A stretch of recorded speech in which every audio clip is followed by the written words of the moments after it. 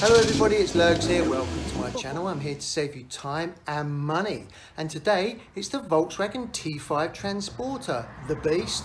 How to replace the front indicator bulb. Right, let's get cracking. This is the front indicator bulb that we're going to be replacing here and it's the same procedure for both sides.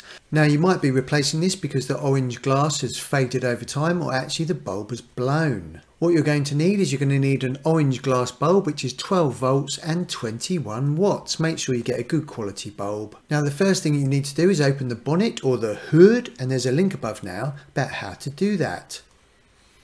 And the front indicator bulb is just in here and it's just behind this rubber casing here. So what we need to do is just pull this off. This is soft flexible cover and there we go. So let's just have a look inside here. you've got two bulbs in here. The one at the bottom is the daytime running lights. We're not interested in that one. The indicator bulb is the one at the top. And just make a note of how it's sitting in there for when you put it back in. It's really hard to see that, but what I'll do is I'll just wiggle it and then look at the front just to make sure you've definitely got the right bulb. So what you do is you just turn it anti-clockwise a tiny bit and then just pull it out.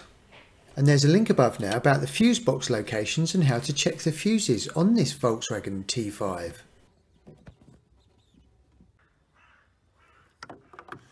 And you can see there that's where we've pulled it out. Okay, so to remove the bulb, just push it down and twist it anti-clockwise very slightly, probably about 10 degrees, 20 degrees, and then just lift it out. And there we go. And we've just got parallel pins on this bulb, nothing fancy. It's just an orange glass bulb, 12 volts and 21 watts. So take your new bulb. Now I'm wearing a glove here, which is just force of habit. You don't actually need to wear a glove, but it does help not to get oily smudges on the glass especially if you're using halogen bulbs. It's not so important on these ones. Now to put it in, just push it down and then twist it clockwise. Again, 10 to 20 degrees and it just locks in. And there we go.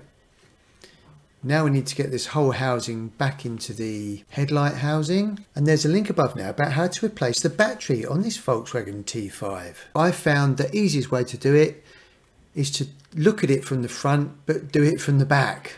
So don't try and get your head in the engine bay, just look at it from the front. And you've got three little divots there. Just line those up with the three gaps, push it through, and then you're just twisting it just to lock it into place. Whilst I'm doing that, there's a link above now about how to reset the service light on this van if you're going to be doing your own servicing.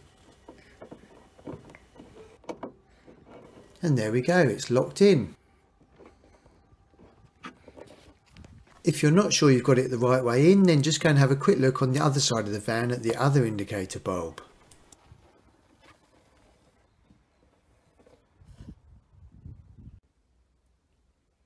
Let's just put the indicator on and make sure it's working, which it is. Superb. Remember to put the rubber housing back on the back. This just stops any dampness getting into the bulbs and the electronics. This is really easy. It, does, it just pushes on. Just make sure it's pushed on all the way around. And there's a link above now about how to replace the pollen filter on this Volkswagen T5. It's really important to change that probably every year. Then it's time to say thank you to my glove. So quick handshake. And as these are modern times, quick fist bump and a high five and another high five. Ah, and after all that hard work, it is definitely time for a lovely cup of tea.